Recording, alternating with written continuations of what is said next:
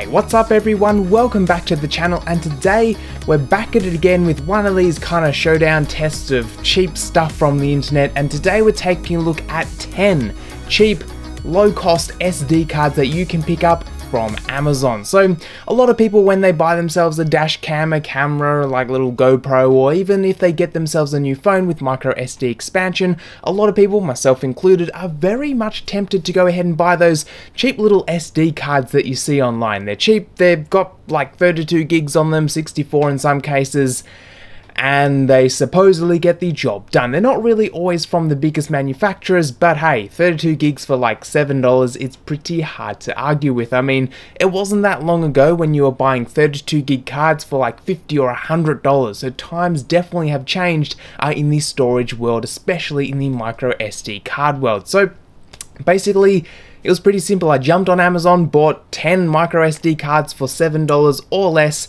all in 32GB trim so we could compare across all of them and we bought them to put them to the test. So let's go ahead and see what I actually went ahead and bought. So I just sorted from most popular, kicking things off with the Fatty Dove Racing 32GB micro SD card. This is supposedly UHS 1 with speeds up to 30 megabytes per second on the right side. We've also too picked up the Londisk 32GB card with performance of up to 90 megabytes per second reads and 30 on the writes. We've got the AEGO 32GB card with a mind-blowing 20 megabyte per second writes, and uh, oof, 40 on the reads. We've also too picked up the Alert Seal 32GB, 40 megabytes per second by 20 megabytes per second on the reads and writes respective. Although one thing about this one is it's kind of weird sort of advertising. It's got like animals, like what is this Anyway, point being, moving on, uh, we also too grabbed ourselves the Brave Eagle 32GB, which has no claimed specs or speeds or anything like that. Doesn't even have a website, it's just on Amazon, so got that one as well. And uh, also too, we grabbed ourselves the Amplim 32GB SD card with a rated uh, U1 speed, although it just is listed as the fastest U1 card, so again, no real specs there. I also too grabbed the Mengimi 32GB card, again, uh, anyway. The Gigastone Full HD video card 32 gig. We also grabbed the J Coli 32GB TF card, which is really not getting my hopes up.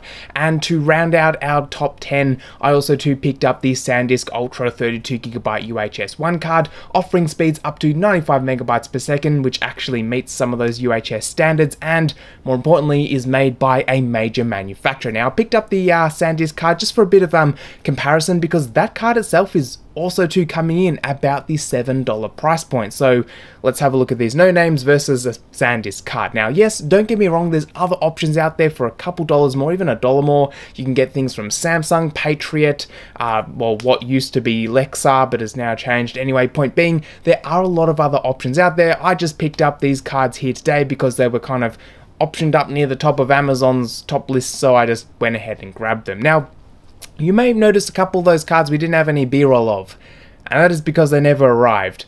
I bought them and they just never showed up. Um, I never got a shipping label, I never got tracking, anything like that.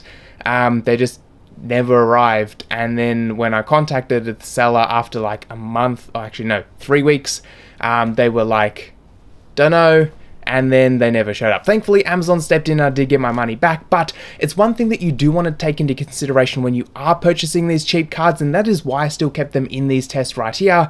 Um, actually receiving the damn unit is something you really need to consider when you are buying cheaper cards. But now that we've actually got what's left of actually showing up, let's jump into some actual testing. After we take a look at our first round graph right here, we already get some fails, but first thing we need to do is, do they even work? Again, we are talking about brands that we haven't really heard of before. I mean, yes, in some markets you may have heard of Fatty Dove Racing, I'm not really too sure there, but my point being, do they even work out of the box? So plugging them in, formatting them as just general standard SD cards, whether they'll be exFAT or whatever you need to go ahead and do, we went ahead and ran the test right here, and I did find that the AEGO card just shows up as 121 megabytes. Um, I thought this might be an issue with the card as I have had SD cards go into uh, write protection mode where you can read off all your data and you just can't write to it. So I thought, hey, maybe this card's a little bit faulty. I tried a bunch of CMD commands and formats and everything and it just didn't work.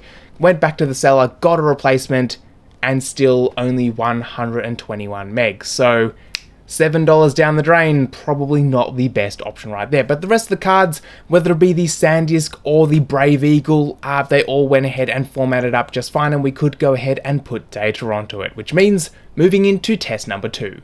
So test number two is all about speed testing because these guys come out with claims that kind of all over the shot. I mean, some of them are claiming 20 megs and the others are 95. We need to actually run some baselines. So going ahead and running them all through, as we can see, uh, well, having a look at these CrystalDiskMarks, they're um, much all in the same league of each other. They're all kind of about the same set of numbers here. However, there was one particular standout, which was the Brave Eagle, which got a sick 93 megabytes per second reads, but then just crumbled when it came to the writes department. It was really, really disappointing. Now, one thing you do want to take into consideration when buying an SD card is chances are you're going to be doing a lot of writing to it because it's in a camera or even a smartphone that would be writing data to it. So not only are your reads going to be really important, but also to your right numbers are very important here. And this guy, whilst it was pretty decent in the reads, just fell over completely in the writes. All in all, looking through these uh, CrystalDiskMarks, they don't come back too badly here, and you could easily take photos in some 1080p uh, low megabit per second uh, video and be pretty much good to go here. So jumping into test number three, can they actually hold 32 gigabytes? CrystalDiskMark shows that we can read and write from them not too badly in some cases, but can we actually store 32 gigs of storage on these guys? Now, if you've been on the internet for any amount of time, chances are you've seen those like 4 terabyte, 1 terabyte, 2 terabyte little USB memory sticks that claim to have all this storage. They're like 8, 10, even 20 bucks in some cases. They're really cheap and they just don't have any storage on them. They're actually like 4 gig little memory sticks that someone's done a quick little software trick on them and then they don't actually do anything. When you write data to them, it'll write 4 gigs, and once it gets over 4 gigs, it'll start to overwrite previous data, and things go really, really badly. So, in our testing right here, I grabbed 32, actually 31 and a half uh, gigs of uh, files that are just standard video files, and went ahead and wrote them to the SD cards, and playing them back, well, Actually, all of them are 32 gigs in fact, so it was nice to see that our 32 gig cards could hold 32 gigs of storage. Point being, none of these particular ones we have here today are a scam, so uh, they get a bit of a pass on this test. Which brings us into test number four, and that is endurance. We've done the speed test, we can actually write stuff to it, but how long are these things actually going to last? So for this particular test, I went ahead and wrote a minimum of one terabyte worth of data to these cards. Now, yes, one terabyte isn't exactly a whole lot, it's like 30 some hours of 1080p video. Uh, definitely in the lifespan of these cards, you could probably expect two, three, four, even five times, depending on what your use case is. Heck, if you're throwing it in something like a dash cam, you're probably going to be like 20xing this kind of number here. But if it can't meet a minimum of one terabyte written to these cards, probably not much point buying it. So in this particular test, I fired up Anvil and we went ahead and just ran the stress test on these particular cards and I'm happy to report back all of them lasted through the endurance testing, absolutely no problems. Now you may notice some cards did write a little bit more, um, that's just because Anvil, you hit go and then you have to hit stop when you want it to stop. Unfortunately, as far as I can tell, you can't dial in a number, but I could be completely wrong. Um, but I just hit go and then came back roughly 24 hours later, hit stop, and that was our about about one terabyte mark. All of them wrote over one terabyte, so it was really good to see that, in fact, we can store stuff on it, we can read and write at okay speeds in some particular cases, but more importantly, you're going to be able to actually use it for a little bit of time. Now, don't get me wrong, you're not going to be throwing a terabyte of data on these cards really, really quickly because they are only 32 gig, but hey, it is possible to do it, so that isn't too bad. Test number five, Pretty simple, we've just gone ahead and run the Anvil test and if you've used a flash media device, chances are you know as the life goes on, the performance does go down. That's just how flash degrades. So after writing one terabyte, what kind of performance numbers do we get here? And well, taking a look at all the CrystalDiskMarks versus the original CrystalDiskMarks, it's going to be a, quite a few screens to flick through right here, but taking a look and actually comparing them, it wasn't exactly too bad. None of the cards fell out and went to like 1 megabyte per second or even went into a write protection mode, so it was really good to see that we could still use them even after that, and you might be surprised that I'm actually happy that we can do that, but Trust me, I've used some pretty cheap flash memory modules and um, I've had cards in the past go for 500 gigs and just completely fall off the cliff right here. So it's good to see that at least the popular stuff on Amazon can actually do some of the work you might be expecting of these particular cards. Now up until now, all the tests that we've been doing have kind of been theoretical and synthetic. They've all been in controlled environments so we could easily compare them across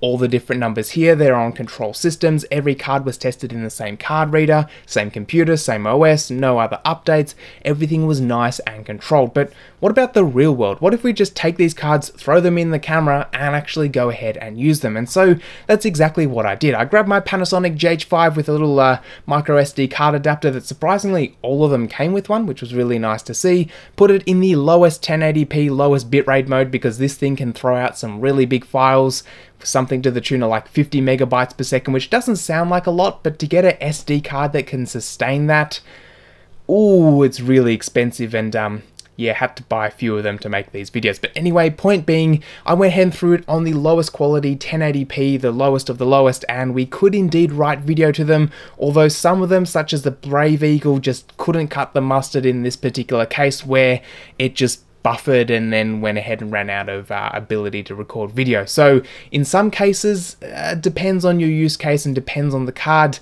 There are much better options out there than some of the cheap ones we did test here, as we can see in our test results right here. Using them in a camera was, again, totally usable, and most importantly, using them in something like a smartphone. All of them across the board showed up, were detected, and I could save stuff to it. I could use my smartphone to take photos and save to that card. I could save video to it. Again, 4K and high bitrate really fell off the cliff, but it was possible with lower bit rates and lower quality images.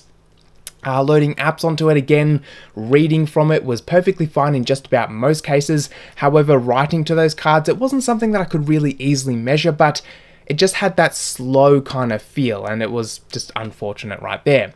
Uh, if you're planning on using something like in a dash cam, you will need to take into consideration the bitrate that the dash cam does record at, but as long as those cards can sustain the speeds that your dash cam runs at, again, no problems right there. So that then brings us to the conclusion of these tests right here. What should I go ahead and buy if I'm buying something cheap for storage off of Amazon? And the answer, unsurprisingly, is the named brand SanDisk card. I didn't really touch on it too much because it just did everything expected. Uh, it recorded videos, it blasted through all the tests, and it is backed up by a major manufacturer. And the fact that it's only $7, along with just about all these other cards that are either 6 to $7, there's really no value in buying these other lesser known brand uh, manufactured drives. Now, yes, there are some other ones out there, for example, Londisk, um, that are a little bit more popular in the Chinese markets, but here in sort of Australia, something like a SanDisk or a Samsung or even a Patriot or even an Angelbird is going to be a much better option in these particular uh, use cases right here, just because you've got a big manufacturer behind it. So if something does go wrong, you can go ahead and get support. Yes, these things are only like $7, so if it goes ahead and dies, it's really not the end of the world, but do remember at the end of the day, you are storing your data on it. So the last thing you want to do is cheap out and buy some cheapo drive that you got on a discount, and then in a year's time it dies with all your data on it and there's no backups and things do go downhill really, really fast. So for me, out of all these cards right here, I'm going to go ahead and take the SanDisk drive. If I had even $1 more, there's other options like from the likes of Samsung again and all the other brands that I did mention um, that are also two great options. But out of the testing here, I'm going to go SanDisk, but if you sort of chop SanDisk out, what should we go ahead and go with? Well, it's really a hard answer here because each drive, whilst it had its upsides, did also to have its downsides. I guess if we look at our graph right here, we can kind of choose, well, the one that had the best result, but at the same time, again, we do need to keep in mind that just because it's good on paper may not necessarily mean the overall experience is good. Again, that is why we did keep those uh, drives that never showed up in these particular tests, because if you can't even get the damn thing, you can't even use it. So that is one thing that we do want to go ahead and use right here. So, unsurprising to no one, the name brand cards. But with that being said, I'll leave all the SD cards that we did check out here today down in that description box along with things like the adapters that I use for testing and then a little SD uh, adapter to full-size SD that I also to use again for testing all down in that description box. And guys, let me know down in that comment sections, have you picked up one of these cheaper, low cost kind of cards? Has it, has it sort of lasted you for a while or is it been problematic? Do let me know down in that comment section. Guys, thanks for watching. I'll catch you all in the next one.